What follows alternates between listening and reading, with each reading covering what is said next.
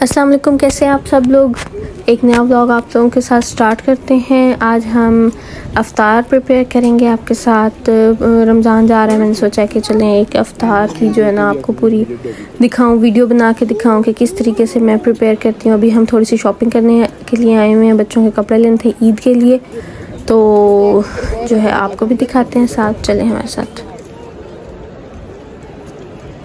अगर आपको अपने लिए, जैसे लेडीज़ के लिए कपड़े लेने हैं ईद के लिए तो और आप अगर कोई सजेशन पूछना चाहते हैं तो मैं अपने नेक्स्ट ब्लॉग में आपको बताऊँगी, बल्कि मैंने ख़ुद भी लिए हैं तो मैं आपके साथ वो भी शेयर करूँगी। ईद का ड्रेस कैसे लेना चाहिए और थोड़ा सा रीज़नेबल तो नहीं कहूँगी मैं, लेकिन अच्छा ड्रेस लेना हो तो या ईद के लिए तो वो मैं बताऊँगी आप लोगों को।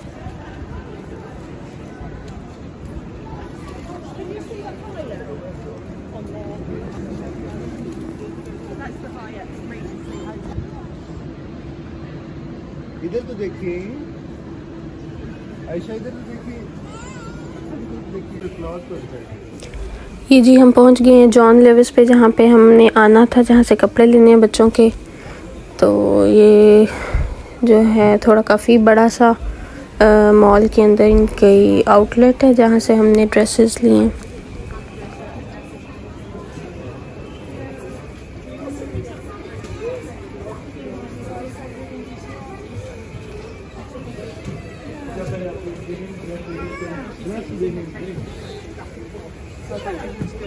अच्छा आप सामने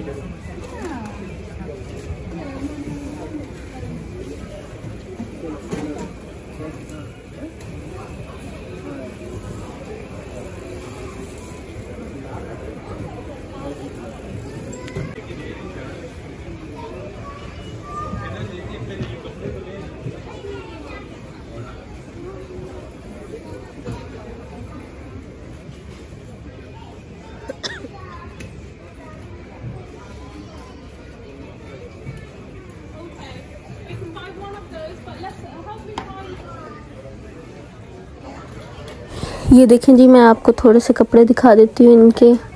जॉन लेविस के बहुत अच्छा ब्रांड था, क्वालिटी भी बहुत अच्छी थी। तो हमने एक ड्रेस पिक किया था, मैं भी आपको दिखाती हूँ। ये वाली हुडी बहुत ही सॉफ्ट और ऑफ़ वाइट कलर में थी और बिल्कुल रुई की तरह नरम थी। तो ये हमने पहन के चेक की तो साइज़ भी पूरा आ गया। तो फिर ये हमने जो ले ली।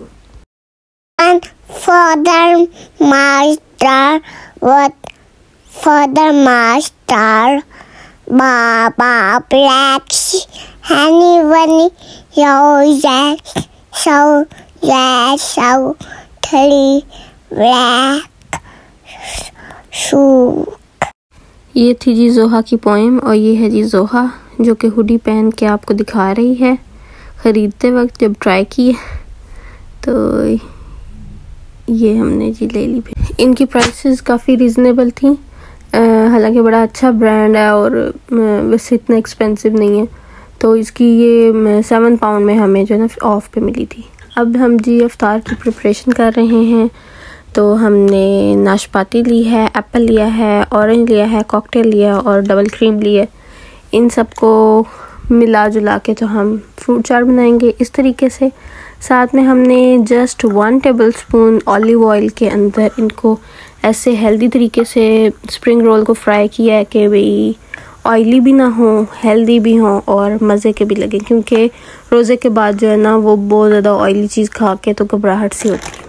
फिर बच्चों के लिए नगट्स ये मैंने हाजीज़ के नगट्स लिए हैं, हलाल। तो जी, ये बना रहे हैं हम जी मज़ेदार नगट्स बच्चों को काफ़ी पसंद आए हैं। उसके बाद जी ये नेक्स्ट डे है और मैं दोबारा से अफ्तारी प्रिपेयर कर रही हूँ। उसके अंदर मैंने पहले आलू बॉईल होने रखे हैं। साथ में एक पैन में ऑलिव ऑयल गर्म होना रख दिया है। साथ में मैंने जो है ये वाला बैटर तैयार किया है बेसन का। इससे मैं बनाऊँगी बूंदियाँ टाइप या बड़े टाइप समझ लें। तो अब दही भले टाइप बना रहे हैं, लेकिन देखते हैं वो टाइप ही हैं। बस दही भले नहीं है ओरिजिनल रेसिपी थोड़ी सी डिफरेंट है। मतलब वो बूंदी के साथ मैं बना रही हूँ दही के अंदर और साथ में आलू, प्याज, टमाटर, हरी मिर्च डाल के। साथ में जी मैंने फ़िश ले ली। फ़िश को मैंने पहले धो लिया, फिर मैंने उसके ऊपर लहसुन अदरक का पेस्ट और सारे मसाले शसाले डाल दिए। और साथ में ऊपर लेमन। इसका जो मेन इंग्रेडिएंट है, वो लेमन है। बस ये खट्टा खट्टा सा और मज़े की बनेगी। बाकी इसका अपना टेस्ट जो है ना, बहुत अच्छा था। आई थिंक ये रहू फ़िश थी। और साथ में मैंने बेसन डाला। जैसे ये फ़िश पकौड़ा टाइप बनेगा। ये बहुत अच्छा इसको लाइट मीडियम सी जो है ना हीट पे हमने फ्राई किया था। अब जी दही बलों की बाकी प्रिपरेशन कर रहे हैं। इसके लिए प्याज लिया है मैंने, छोटे साइज़ का एक हरी मिर्च लिया, धनिया लिया, टमाटर लिया और उनको मैंने चॉप कर लिया। और थोड़ा सा धनिया मैंने इसके ऊपर भी, मछली के ऊपर भी स्प्रिंकल कर दिया। आलू बॉयल हो गए थे, साथ में ये मैंने जो बेसन का वो बैटर तैयार किया था, वो फ्राई करके इसमें डाला। बाकी जो कटी हुई चीज़ें थी वो डाली। दही को मैंने थोड़ा सा मिक्स मिक्स किया।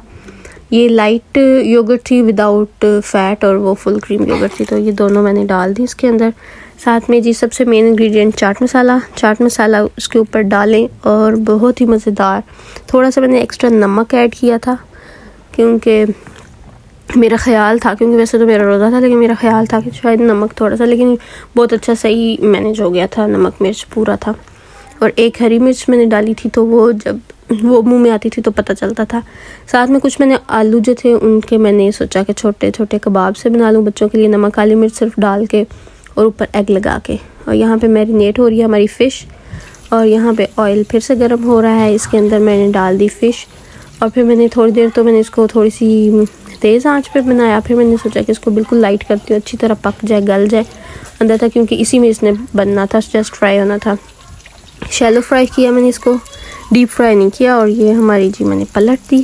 फ्राई हो रही है, बड़ी ज़बरदस्त, बड़ी अच्छी खुशबू आ रही थी। मैंने फिर भी ऊपर भी लेमन स्क्वीज़ किया। लेमन का साइज़ देखें कितना ज़बरदस्त लेमन है। और यहाँ पे ना लेमन और जो है ना ऑरेंजेस उनमें बीज नहीं है। तो वो बीज के बगैर बड़े ज़बरदस्त हैं। आँच मैंने स्लो कर दिया। साथ में जी मैंने अपने जो पहले से प्रिपेयर्ड स्प्रिंग रोल्स हैं, उनको निकाला। ये कबाब में रखे हैं, साथ में वो दही वाले तैयार हो गए हैं। फ़िश फ्राई हो रही है। तो बस सारे काम साथ साथ चल रहे हैं। बड़ी अच्छी अफ्तारी तैयार हुई है। तो मैंने एक कबाब को ऐसे ही डाल दिया एग के बगैर तो मुझे पता चला कि वो तो वैसे टूटना शुरू हो गया। फिर मैंने एग बीट किया, फिर उसके अंदर बाकी के तीन चार कबाब डाले, बाकी चीज़ें फ्राई हो चुकी हैं। ये देखें जी, कितनी मज़े की लग रही है अफ्तारी मेरे मुँह में पानी आ रहा है। अब जी मैंने बचा हुआ अंडा भी ऊपर डाल दिया क्योंकि जो है ना, ज़ाया नहीं करनी चाहिए, कोई भी चीज़ फेंकनी नहीं चाहिए तो उसको भी फ्राई करके खा लिया। ये तो थी हमारी अफ्तारी, उसके साथ सालन कुछ बना हुआ था, उसके साथ मैंने रोटी बना ली और ये हमारा तैयार हो गया जी अफ्तार। तो thank you thanks for watching दुआ में याद रखिएगा। ओके अल्लाह हाफिज़। And please subscribe to my channel thank you